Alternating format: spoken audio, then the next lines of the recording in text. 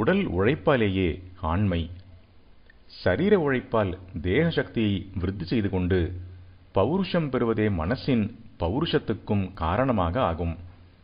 இப்போது பேப்பரை படித்துவிட்டு காரசாரமாக வாய் வார்த்தையில் அக்கிரமங்களை கண்டிக்கின்றோமே தவிர நிஜமான ஆண்மையோடு நம் தர்மத்தை காப்பாற்றுவதற்காக உயிரை வேண்டுமானாலும் கொடுப்பது என்ற காரியத்தில் இறங்குகின்ற தீரம் போய்விட்டிருக்கின்றது.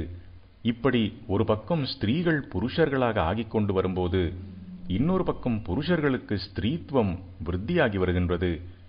நல்ல சத் விஷயங்களில் பிடிமானம் படிப்பு பயிற்சி பக்தி பூஜை தியானம் உள்ளவர்களைத் தவிர மற்ற பெரும்பாலாரின் மனசு கெட்டதுகளில் போகாமல் தடுப்பதற்கு சரீர உழைப்புத்தான் சாதனமாகின்றது. நாற்காலியில் உட்கார்ந்து கொண்டு ஏதோ எழுதுகின்றோம் யோசனை பண்ணுகின்றோம் என்றால் அப்போதும் மனஸ் அது பாட்டுக்கு அவ்வப்போது இதை விட்டுவிட்டு ஓடிக்கொண்டுதான் இருக்கும். அதுவே சரீரத்தில் காரியம் செய்கின்றோம் என்றால் அப்போது அப்படிப்பட்ட காரியத்திலேயே மனஸ் அதிகம் ஈடுபட்டு விடுகின்றது. அதனால் கண்ட கண்ட நினைப்புகளுக்கு ஓடாமல் இருக்கின்றது. அதாவது சரீர உழைப்பால் சித்தம் கெட்டதில் போகவில்லையே தவிர நல்லதில் ஈடுபட்டு உத்தம அனுபவங்களை பாசிட்டிவாக பெறவில்லைதான். ஆனால் முதலில் இந்த நெகட்டிவ் ஸ்டெப்பில் அடி வைத்துத்தான் பாசிட்டிவுக்கு போயாக வேண்டியிருக்கின்றது. ஆச்சாரியால் அதனால்தான் முதலில் கர்மானுஷ்டானம். அப்புறம் இதனால் ஏற்படும் சித்த சுத்தியினால் மனஸ் உத்தமமாகவே போகின்ற பக்தி. அதற்கப்புறம் மனசே போய்விடுகின்ற ஞானம் என்று படிவரிசை போட்டுக் கொடுத்தார். சரீர சாதனை ஆத்ம சாதனை இரண்டும் வேண்டும். ஜன்மா பூரா ஒருத்தன் ஏதோ மாடு மாதிரி தேகத்தால் அலைந்து தெரிந்து கையையும் காலையும் ஆட்டிக்கொண்டிருந்து விட்டு சாந்தமாக சௌக்கியமாக ஈஸ்வரபரமான ஆத்மார்த்தமான விஷயங்களை தெரிந்து கொள்ளாமலும் பக்தி தியானம் எதுவுமே இல்லாமலும் ஜீவனை விட்டான் என்றால் அவன் மனுஷ ஜன்மா எடுத்ததே பிரயோஜனமில்லைதான். ஆனால் செய்ய வேண்டிய நிலையில் சரீர உழைப்பை பண்ணியே ஆக வேண்டும். பொதுவாக இப்போது ஜனங்கள் இருக்கின்ற லோகாயதனமான அபக்வமான ஸ்திதியில் அவர்களில் பெரும்பாலோர் நீண்ட காலத்துக்கு சரீரத்தால் உழைத்து உழைத்தே சித்த சுத்தி பெற வேண்டியவர்களாகத்தான் இருக்கின்றார்கள். மூளையால் மட்டும் வேலை செய்கின்றவனுக்கும் பேனா வேலைக்காரனுக்கும் சரீரத்தால் உழைப்பவனைப் போல அசந்து தூக்கம் வருகிறதோ? தூக்கம் வராவிட்டால் மனசு எங்கேயாவது திரிந்து கொண்டே அழுக்கை சேர்த்துக் கொள்கின்றது. நன்றாக உழைத்துவிட்டு வந்தவன் இப்படியெல்லாம் கெட்ட சிந்தனைகளில் போகாமல் நன்றாக தூங்குகின்றான். அதனால் தேகபலம் புத்தி பலம் இரண்டும் உண்டாகின்றது. தேகத்தையும் புத்தியையும் கனெக்ட் பண்ணுகின்ற நர்வஸ் சிஸ்டத்தை அவன் பாழ் பண்ணிக் கொள்வதில்லை. சரீர உழைப்பில் தான் ஆரம்பித்தாக வேண்டியிருக்கின்றது. ஆனால் சரீரத்தோடு நின்று விடாமல் அந்த ஆரம்ப நாளில் இருந்தே ஈஸ்வரபரமான விஷயங்களிலும் டச் வைத்துக் கொண்டே ஆக வேண்டும். போக போக டச் பண்ணினால் மட்டும் போதாது. டச் பண்ணுவதை கையில் பிடித்து வைத்துக் கொள்ளவும் பிரயத்தனப்பட வேண்டும். அத்தியாத்ம சமாச்சாரங்களில் அதிகம் ஈடுபட வேண்டும். ஆனால் இப்போதும் இவன் ஆத்ம அபிவிருத்தியில் உச்சாணி கொம்புக்கே போய்விட்டாலும் அப்போதும் கூட சரீரப்பணியில் இவன் டச்சை அடியோடு விட்டுவிடக்கூடாது ஜீவன் முக்தன் என்று என்னவோ சொல்கின்றார்களே நமக்கெல்லாம் அப்படிப்பட்ட ஸ்திதி புரிவது கூட கஷ்டமாயிருக்கின்றதே. அந்த ஸ்திதி வந்து நமக்கென்று மனசில்லை எண்ணமில்லை பிளான் இல்லை என்று ஆகின்ற மட்டும் நாமாக உடற்தொண்டை அடியோடு விட்டுவிட்டோம் என்று இருக்கவே கூடாது. அதனால்தான் பெரியோர்கள் ஒரு கையால் ஈஸ்வரனை பிடித்துக்கொண்டே இன்னொரு கையால் லோக காரியங்களை பண்ணு என்கின்றார்கள். முதலில் சரீர வேலை ஜாஸ்தி ஆத்மார்த்த சிந்தனை குறைச்சல் பிறகு இரண்டும் சமம்.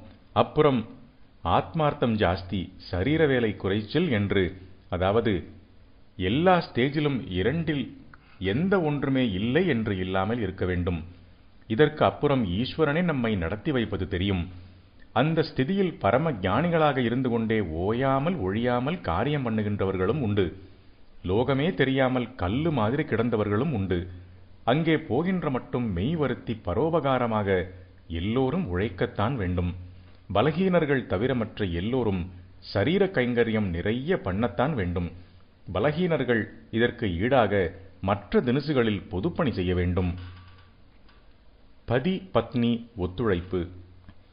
சிரமதானம் மாதிரியே எல்லாரும் சம்பத்தி தானம் என்கின்ற பணதானமும் துளியாவது பண்ண வேண்டும்.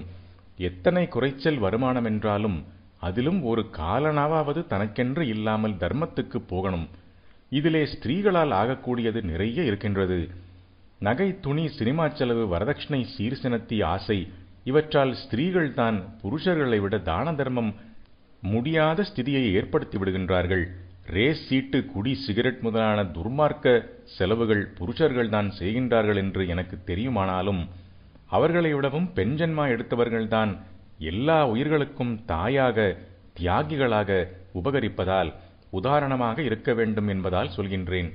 அகமுடையான் பெண்டாட்டி இருவரும் ஒத்துழைத்து தர்மம் செய்வதற்கென்றே மற்ற செலவுகளை குறைத்து கொண்டு கொஞ்சமாவது மிச்சம் பிடிக்க வேண்டும். இருக்கின்றவர்களும் இதற்கெல்லாம் ஆகின்ற செலவை சேமித்து பரோபகாரத்துக்காக பயனாக்க வேண்டும். தனக்கு மிஞ்சி தர்மம். தனக்கு மிஞ்சி தர்மம் என்பது நான் புது வியாக்கியானம் செய்கின்றேன். எது உயிர் வாழ்வதற்கு அத்தியாவசியமோ எதெல்லாம் இல்லாவிட்டால் உயிர் வாழ முடியாதோ அந்த பேர் நெசசிட்டிஸுக்கு தேவையானதைத்தான் தனக்கு என்று இங்கே சொல்லியிருப்பதாக புரிந்து கொள்ள வேண்டும். இல்லாவிட்டால் தனக்கு என்று சொல்லிக்கொண்டு ஆடம்பர செலவுகள் பண்ணிக்கொண்டே போய் எத்தனை வருமானம் வந்தாலும் தானம் பண்ண ஒன்றுமே இல்லாமல் ஆக்கிக் கொள்வதாகத்தான் முடியும். சொந்த செலவுகளை அவசியத்திற்கு அதிகமாக எவரும் வைத்துக் கொள்ளாவிட்டால்தான் தனக்கு மிஞ்சி கையில் தர்மத்துக்கு பணமே இருக்கும். முடிவில்லாமல் தனக்கென்று ஆடம்பர போக்கியங்களை லக்ஸுரிகளை பெருக்கிக் கொண்டே போய்விட்டு தனக்கு மிஞ்சி தர்மம் பண்ண எதுவுமே இல்லை என்று கைவரித்தால் அது நியாயமில்லை. அதனால் நமக்கு வரும்படி எவ்வளவு குறைச்சலாயிருந்தாலும் அதற்குள் தர்மம் பண்ணும்படியாகவும் செலவை கட்டுப்படுத்திக் கொண்டு தனக்கு மிஞ்சும்படி பண்ண வேண்டும் என்றே இந்த வசனத்தை அர்த்தம் பண்ணிக்கொள்ள வேண்டும். அப்படி செய்தால் எவனுமே தர்மத்துக்காக சேர்த்து வைத்துத்தான் ஆக வேண்டும் என்றாகும். அதாவது எவனுமே கடன்பட மாட்டான். இது ஒரு பெரிய ஸ்வய உபகாரம். இப்போது சர்க்காரே கடன் வாங்குவதாக ஆகிவிட்டிருக்கின்றது. அதே வழியில் வேண்டாத வஸ்துக்களையெல்லாம் ஜனங்களும் அத்தியாவசியமாக்கிக் கொண்டால் எல்லாரும் கடனாளியாக இருக்க வேண்டியதுதான். கடன் வாங்காமல் இருப்பதே பெரிய உபகாரம். ஏனென்றால் நாம் கடன் வாங்கி செலவழிக்கின்ற போது நாம் தர்மம் பண்ண முடியாது என்பதோடு மற்றவர்களையும் கடன் வாங்கி டாம்பீகம் செய்ய தூண்டுகின்றோம். பிரத்தியாருக்கும் சாத்தியமில்லாத ஆசைகளை கிளப்பி விடுகின்ற விதத்தில் எவன் ஒருத்தனும் டாம்பிகமாக வாழ்கின்றதுதான் பெரிய சமூக துரோகமான காரியம். அனாதியான நம் சாஸ்திரங்களில் இருந்து நேற்று காந்தி வரையில் சொல்லி வந்த எளிய வாழ்க்கை சிம்பிள் லிவிங் வசதி உள்ளவர்களும் மேற்கொண்டால் எந்த கம்யூனிசமும் வர்க்க போராட்டமும் வரவே வராது. எளிய வாழ்க்கையால் இவன் நிறைய மிச்சம் பிடித்து தர்மமும் பரோபகாரமும் செய்வது ஒரு பக்கம். இதைவிட முக்கியமாக மற்றவர்களுக்கு ஆசை அசூயை கடன் இவற்றை ஏற்படுத்தாமல் இருக்கின்றானே இதுதான் பெரிய உபகாரம். வரவே சிரித்து செலவே பெருக்கினால் அது திருடு என்று ஆன்றோர் மொழி இருக்கின்றது. கடன் வாங்கின பணம் இன்னொருத்தனுடையது தானே? அந்த பணம் தனக்கு வருமா வருமா என்று இவன் திருப்பிக் கொடுக்கின்ற வரையில் அவன் திருட்டு கொடுத்து விட்டது போல் அவஸ்தைப்பட்டு கொண்டுதானே இருப்பான். அதனால்தான் இதை திருடு என்றே சொல்லி இருக்கின்றது கடன்பட்டார் நெஞ்சம் மட்டுமில்லாமல் கடன் கொடுத்தார் நெஞ்சமும் கலங்கும்படியாக இப்படி இரண்டு சாராரும் அபகாரம் பண்ணுகின்ற இரவல் பழக்கத்தை விடுவதே பெரிய உபகாரம்தான். வரதட்சணை பெரும் கொடுமை. நாம் ஊதாரித்தனமாக செலவு செய்து பிறரையும் இந்த வழியில் போவதற்கு சபலப்படுத்தி கடனாளியாக்குவது தப்பு என்றால் நாம் எந்த செலவும் செய்யாமல் இன்னொருத்தனை நம் பொருட்டாகவே பெரிய செலவுக்கு ஆட்படுத்தி கடனாளியாக்குவதோ அதைவிட தப்பு. பாபம் என்றே சொல்லணும். வரதட்சணையானாலும் படாடோப கல்யாணத்தாலும் எத்தனையோ குடும்பங்களை கடனாளியாக பண்ணியிருப்பது நம் சமூகத்துக்கே பெரிய அவமானம். வைதிக அம்சங்களுக்கு மாத்திரமே முக்கியத்துவம் தந்து கல்யாண செலவை எவ்வளவுக்கு எவ்வளவு குறைக்க முடியுமோ அப்படி பண்ணி டாம்பீகமே இல்லாமல் சிம்பிளிஃபை செய்ய வேண்டும் என்று நானும் ஓயாமல் சொல்லிக்கொண்டேதான் இருக்கின்றேன். கேட்கின்றவர்கள்தான் அபூர்வமாயிருக்கின்றார்கள். வரதட்சணையும் சீர்சினத்தையும் கேட்பது பாபம் என்கின்ற உணர்ச்சி பிள்ளையை பெற்றவர்களுக்கு உண்டாக வேண்டும். ஒரு பெண்ணின் கல்யாணம் என்றால் இப்படி பதினாயிரக்கணக்கில் செலவழிக்க வேண்டியிருப்பதால் தான் அந்த பெண்களையே வேலைக்கு விடுவது என்று ஆரம்பித்து அப்புறம் இதுவே ஃபேஷன் ஆகி நம்முடைய ஸ்திரீ தர்மத்துக்கே ரொம்பவும் கெடுதல் ஏற்பட்டு கொண்டிருக்கின்றது. ஒரு ஆயுள் காலம் சேமிப்பும் போதாமல் கடன் கஸ்தி வாங்கித்தான் கல்யாணம் பண்ண வேண்டும் என்ற நிலையில் அநேக குடும்பங்களை வைத்திருக்கின்ற வரையில் நமக்கு மற்ற பரோபகாரத் தொண்டுகள் ஜீவாத்ம கைங்கரியங்களை பற்றி பேசவே லாயக்கில்லை என்று தோன்றுகின்றது.